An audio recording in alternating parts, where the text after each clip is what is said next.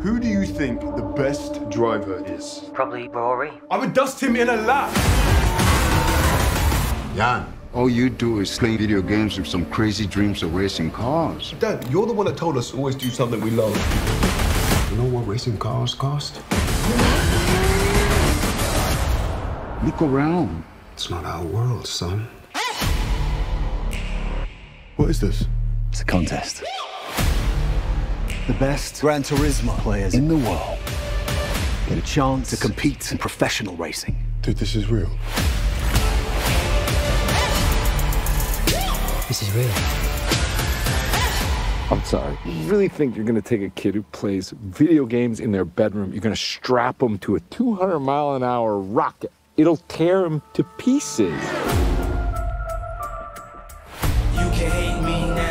It's not going to work. The guys who race are elite athletes. but I won't stop now. Your kids are scrawny little gamer kids. Well, that's where you come in. Come on, let's go. Cause I can't stop now. Must be a new experience for you, moving your legs. You puked on my lawn. There's no turning back now. When you're in a race, the cockpit is going to be 140 degrees Fahrenheit. The G forces will be twice what an astronaut experiences upon liftoff. I can't see anything.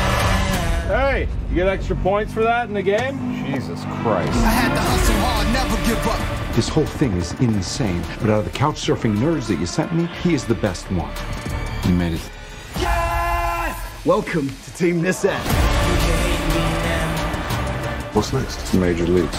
The other drivers are going to hate you. Come Whoopsie. Dude, what is your problem? It's part of the game. It's called racing. But I won't stop now. You miss a line in the game, you reset. You miss it on the track, you could die.